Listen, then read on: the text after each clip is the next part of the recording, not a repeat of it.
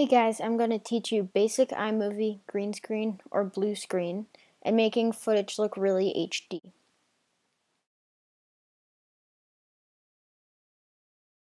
Obviously, to make a movie, you've had to have taken your footage, which I've already done. It's right there. I mean, I have a lot of different footage, but that's going to be one of the examples. So after you've taken it, save it to the desktop. You can either download it off the internet or import it with a camera. Then you drag it into an event library by going File, oops, File, Import Movies, and you do Create New Event. And then I'll just do tutorial. And then you go here and you choose the um, the video. And then obviously you need a project library to do that. So now you see it's down here. This is a blue screen video by the way. So you hit the plus button, then you name it. I'll name teach and then you hit create. And then let's say I really like this clip and I want only this much in, but I accidentally double click and drag it in. Let's say I don't want this extra blue space. You just click and drag to the part where you don't want it. And then you hit the delete button. Um, and then that's it. So if I wanted to make a whole movie, like if I were to do this, go to this library, and let's say I wanted to add this, I'd do the same thing. If I wanted to delete it, I'd do that or whatever. And then, ta-da, there's your clip. Um, da, da, da. okay.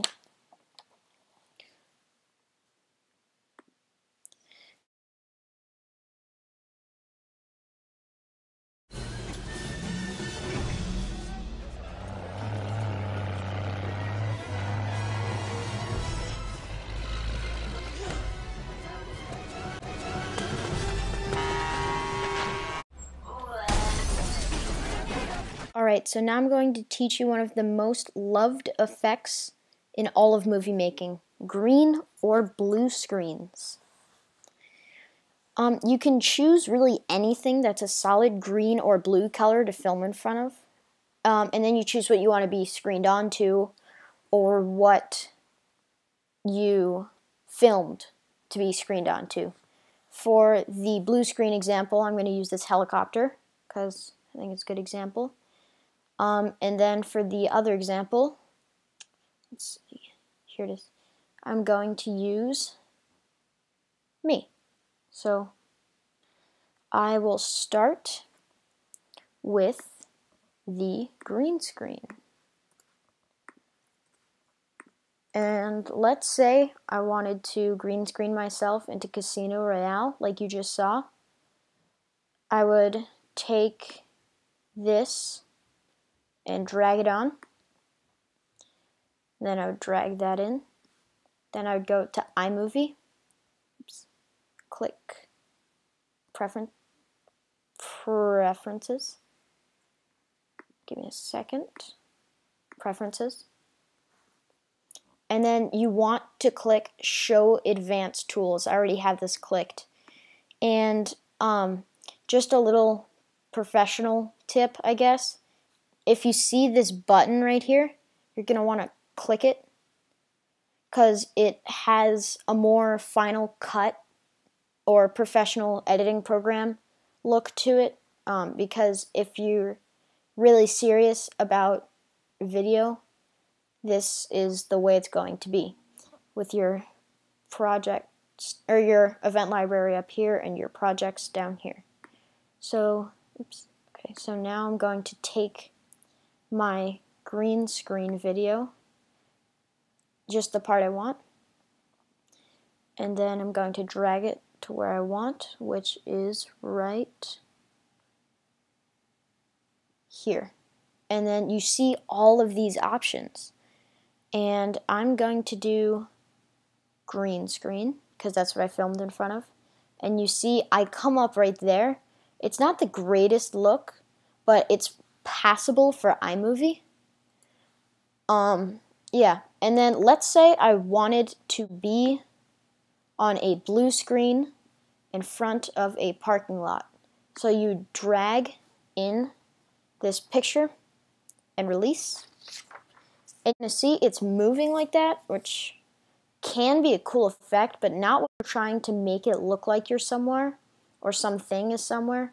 So you can choose fit, crop. Ken Burns, I don't really like for green screen because it kind of moves around. If you can, so if I hit play, you see moves.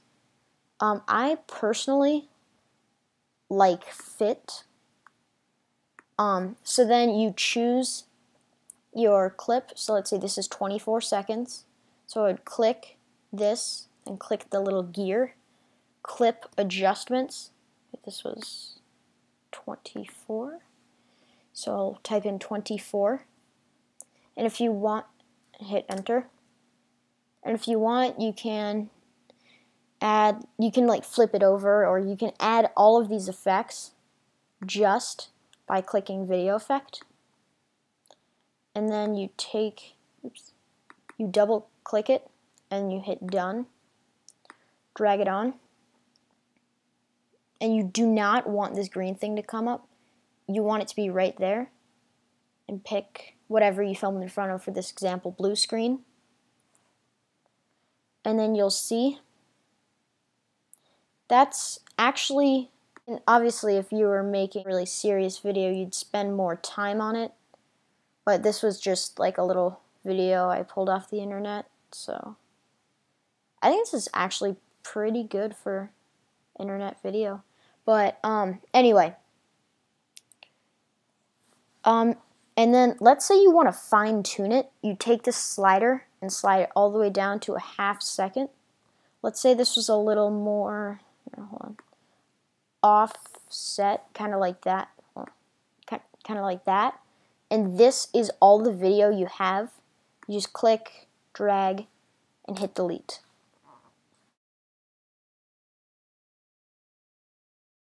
Now I'm going to teach you how to make your footage look really high definition. So obviously you're going to do this when you're done editing. Um, and there are a lot of different ways to do this depending on the programs you have. So you're going to want to go up here to share. And you see you have these options, export movie, export using QuickTime, um, export Final Cut XML. Obviously, if you don't have Final Cut, you cannot use this option. So if you just are like a beginner and you want to only use iMovie for this project and not fine tune it on a $300 program, then that's out of the picture. So now you have export movie, but you see the highest it can get without it only being able to be seen on a computer is 1080 by 720. So that's what a lot of people do, or a lot of people do large. Most people do medium because you can see it on all devices. But that is not what you should do. You should go up to share, export using QuickTime, and then most people just hit save, but you go to options, size, and you see there's this whole list of options. And um, there's this option right here, 1920 by 1080, and this is the highest resolution it can go and this can be seen on all devices. So you're going to pick that. If you really want to, you can go to custom and type in, like, I don't know, 2180 by 2000. I mean, that's like a ridiculously high number, and it'll take forever to render. And if you are doing a ridiculously high number, make sure the big number is 180 more than the other one. So I'm just going to go with this. And then if you want to give it a cinematic look, click here this little check thing. I don't really know what to call it. And click here. Um, I like letterbox because it gives it a, cool little look. Then you hit OK. OK. And then this is a scene from a movie I've been working on. Tutorial export. And then you hit save. From this moment united and determined to the ultimate and undeniable greatness of the whole man.